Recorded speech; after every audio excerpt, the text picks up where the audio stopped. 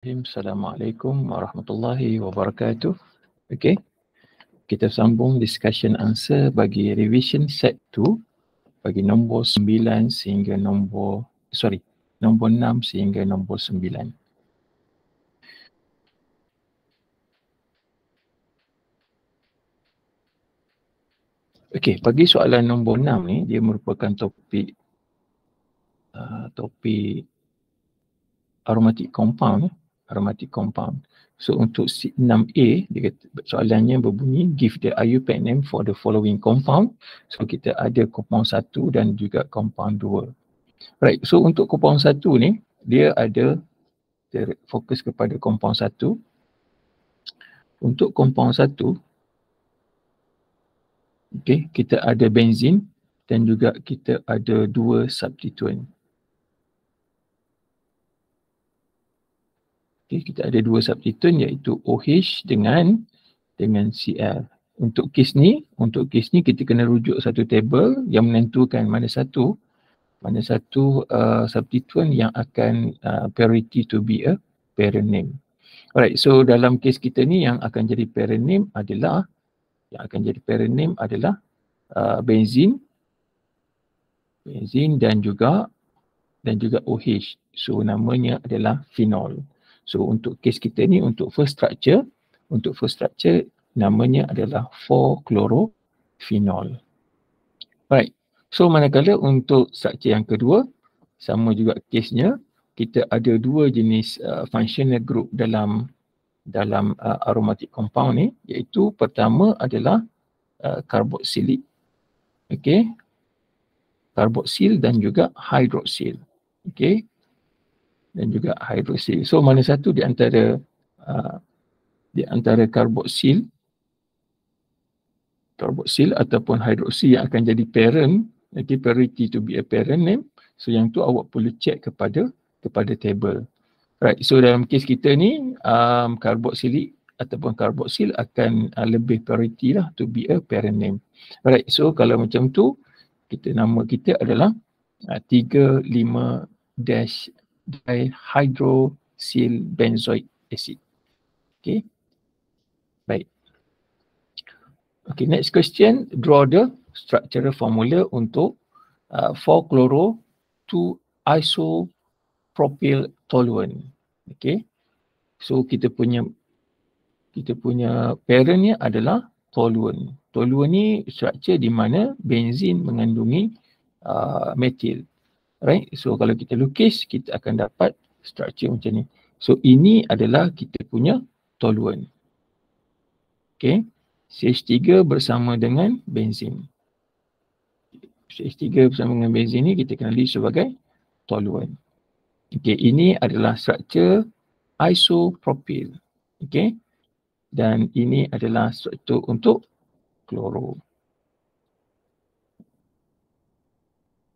Okey, seterusnya uh, untuk soalan 6C, draw the structure formula for A and give a suitable reagent for R1.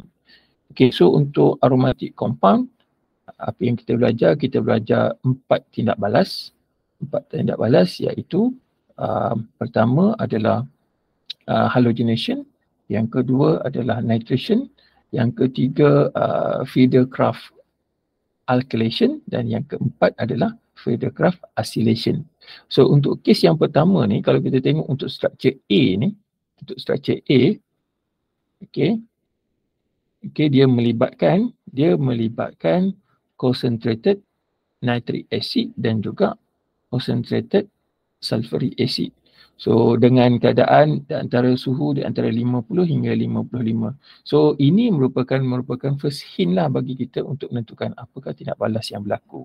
So dalam kes ni ini adalah tindak balas tindak balas nitration. Okay. So kalau tindak balas nitration, so produk bagi A kita akan hasilkan nitro nitrobenzin. Okay, seterusnya adalah untuk R1. Okey, untuk menentukan R1 kita perlu tengok kita punya kita punya produk. Apakah produk yang terhasil daripada tindak balas ni? So ini merupakan kita akan dapat kloro klorobenzin. Okey, klorobenzin. So kalau seimbas selalu uh, kloro ni terjadi daripada kumpulan halogen so ini merupakan tidak balas uh, halogenation in benzene. So untuk R1 okay, kita boleh disebabkan klorin yang terlibat so kita gunakan klorin gas dan juga dengan kehadiran Lewis acid. So untuk Lewis acid anda boleh pilih di antara dua okay, kita boleh guna iron chloride ataupun aluminium aluminium chloride. So ini boleh pilih lah untuk Lewis acid ni salah satu daripada daripada inilah. Okay untuk C. Okay seterusnya yang C write the chemical equation for the conversion of benzene to to phenyl. Okay kita daripada kita ada daripada benzene kepada to phenyl. So kalau kita tengok sini kita ada pertambahan kita ada pertambahan heptin dekat sini kita ada pertambahan tujuh karbon. So tujuh karbon ni kita kenali sebagai alkyl group lah. Okay, ini merupakan alkyl group. So ini kalau kita sekali imbas kita dah boleh uh, kita boleh dapat predik. So ini merupakan tindak balas alkylation. Okay, Federcraft alkylation. So untuk yang ni case dia, okay, jawapannya adalah benzin akan berjumpa dengan 2-chloroheptene. Okay, 2-chloroheptene. So di sini akan berlaku tindak balas substituent substituent dengan kehadiran Lewis acid as a catalyst. So kita akan hasilkan 2-phenyl heptene. So ini adalah 2-phenyl heptene. Okay. Ini adalah 2-phenyl heptene.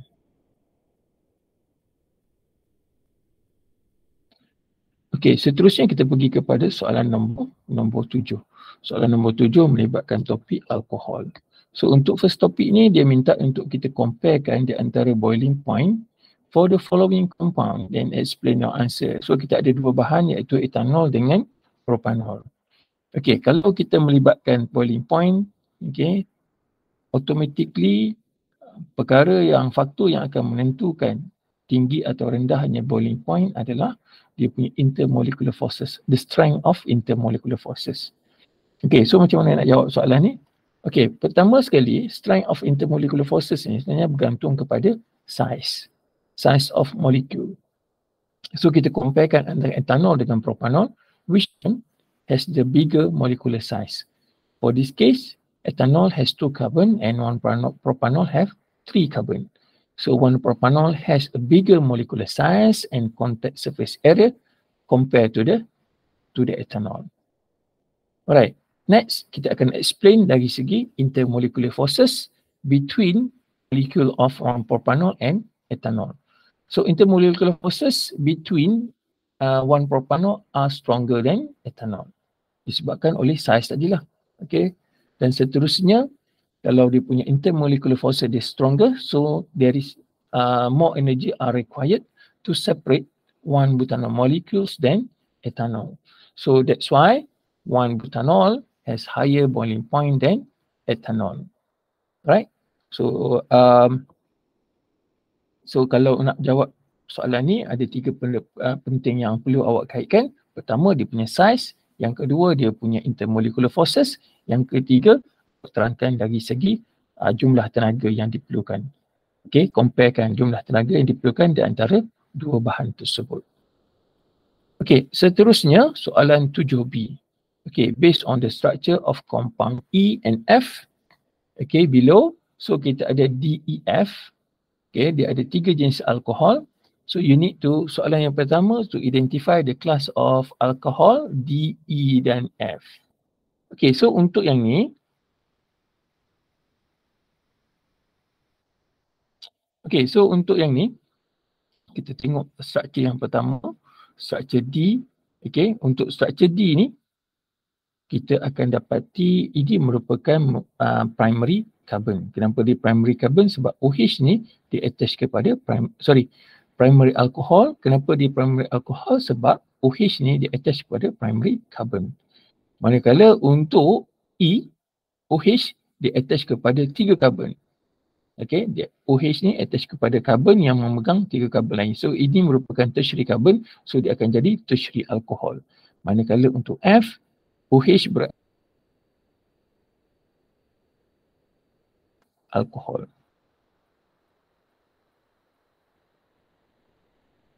So jawapan dia D merupakan primary alkohol, E merupakan tertiary alkohol dan F adalah secondary secondary alkohol. Okay, next question.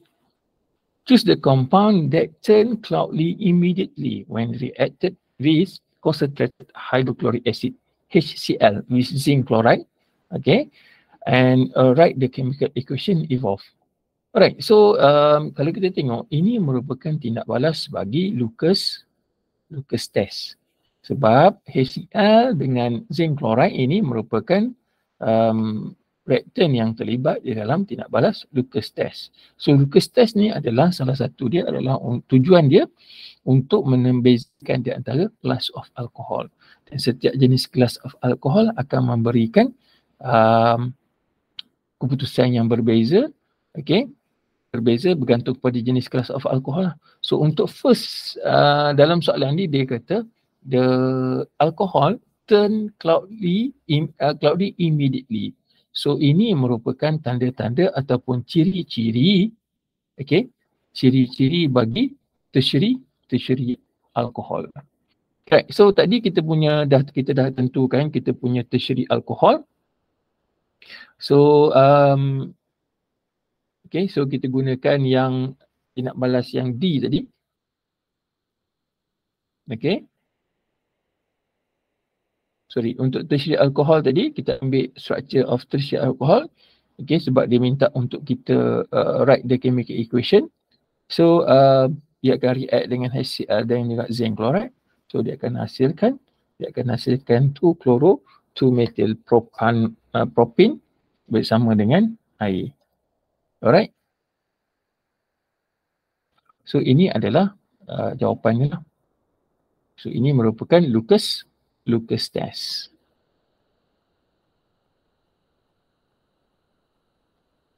Okey, seterusnya soalan nombor 8. Soalan nombor 8, okey, baca soalan betul-betul dan fahamkan apakah maklumat yang diberikan. Okey, dia kata an organic compound H. Okey, dia ada satu organic compound H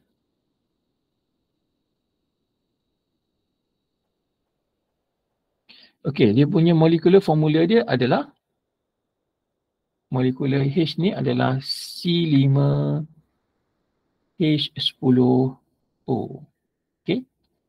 Okey, dia bagi dia kata bagi tahu H ni dia akan bagi positive result.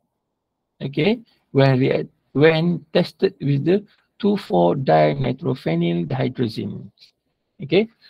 2,4-dinitrophenyl hydrazine. So ini adalah ujian Brady test. So Brady test adalah satu di mana ujian untuk menentukan kehadiran karbonil, okay, kehadiran karbonil dalam satu-satu compound. Okay, manakala H dia kata H reduce the tolerance reagent. So tolerant reagent adalah ujian untuk menentukan membezakan di antara aldehyde dengan aldehyde dengan ketone.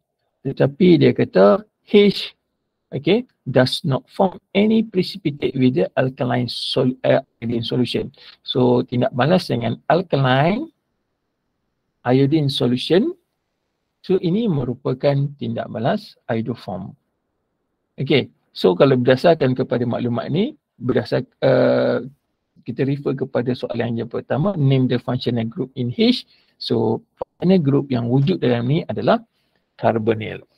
Okay carbonyl group. Ah okay sebab dia bagi positive test apabila kita tindak balas dengan 2,4-dinitrophenylhydrazine right. So kemudian yang kedua dia kata kenapa H dia bagi negative okay does not form any precipitate. That means this reaction give the okay, give the negative result.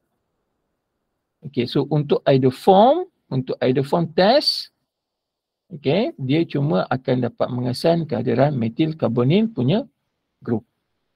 Okay, so kenapa H uh, tak bagi, uh, give a negative result? Sebab H does not have a metil carbonyl structure. Kalau dia ada metil carbonyl structure, baru dia akan bagi the positive positive result. Okay.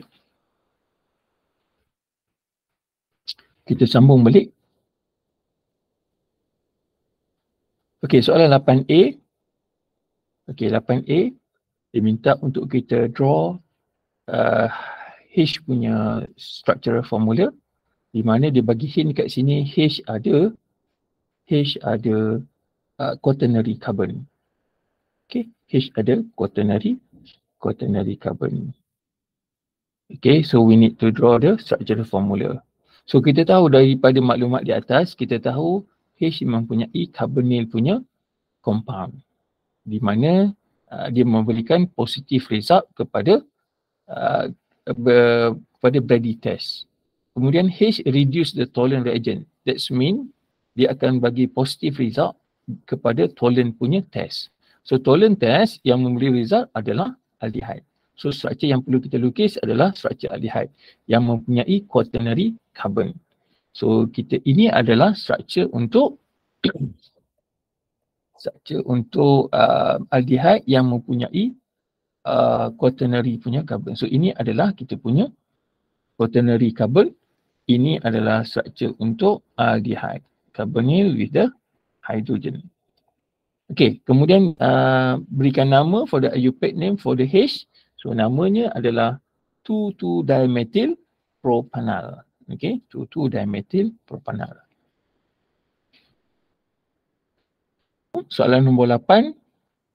Okay, dia minta untuk kita write the equation uh, for the reaction of H dengan 2,4-dinitrophenylhydrazine dan juga state the observation for the reaction. So ini tindak balas Grady. So kita kena lukis lah tindak balas bagi 2,2-diphenyl propanol tadi, 2-methyl propanol dengan um, 2,4-dinitrophenyl hydrazine.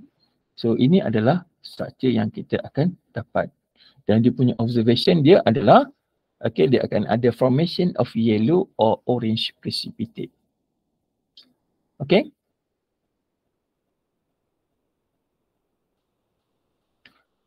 Alright, consider the reaction scheme.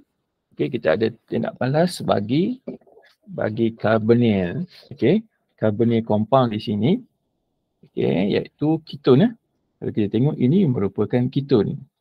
Yang kita tahu dia ketone sebab C double bond O dia attach dengan dengan metil.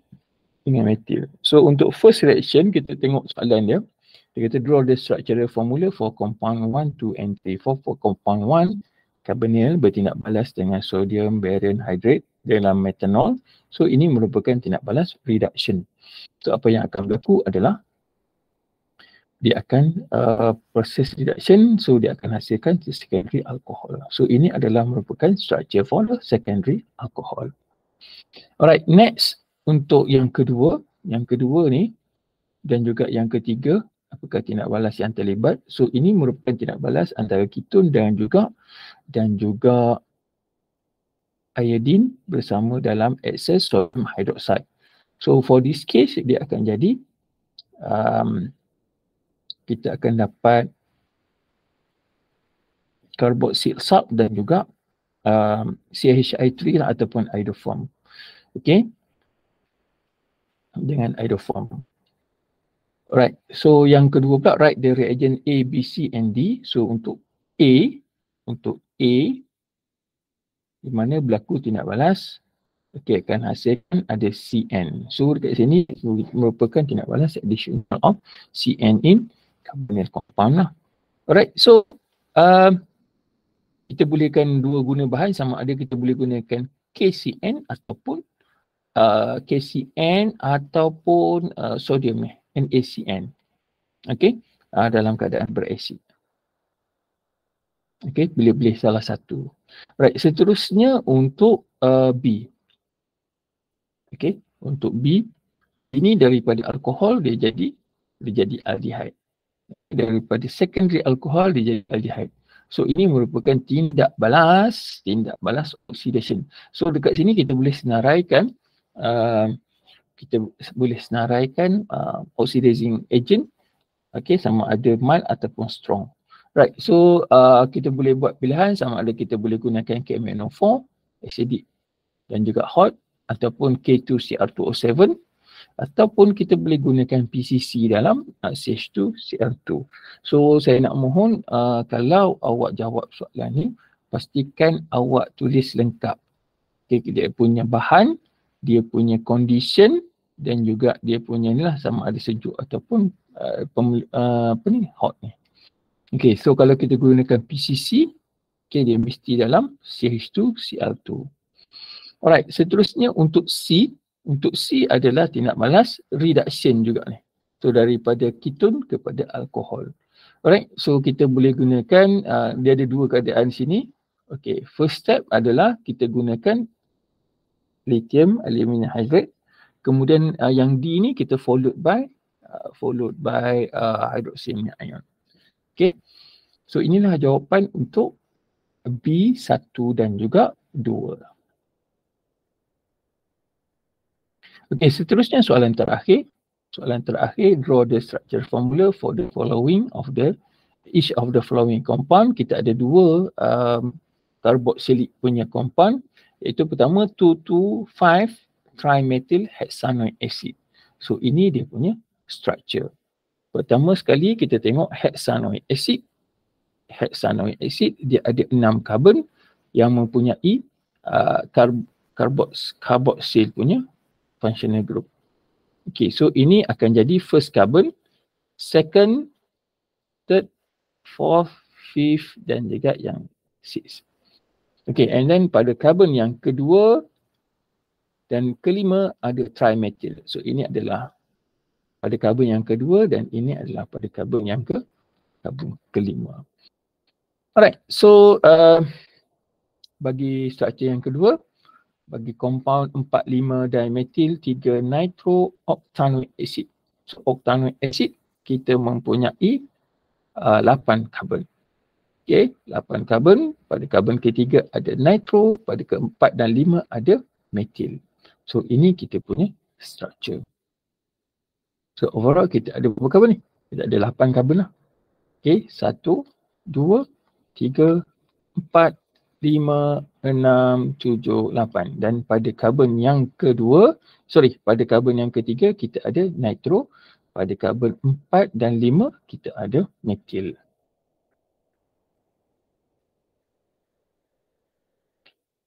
Okay, seterusnya 9B compare the solubility of one butanol and propanoic acid in water. Alright, so kalau kita melibatkan uh, organic compound, uh, menceritakan tentang solubility uh, atau yang perlu kita ambil kira adalah dari segi uh, bahan tersebut uh, boleh membuat hydrogen bond dengan air.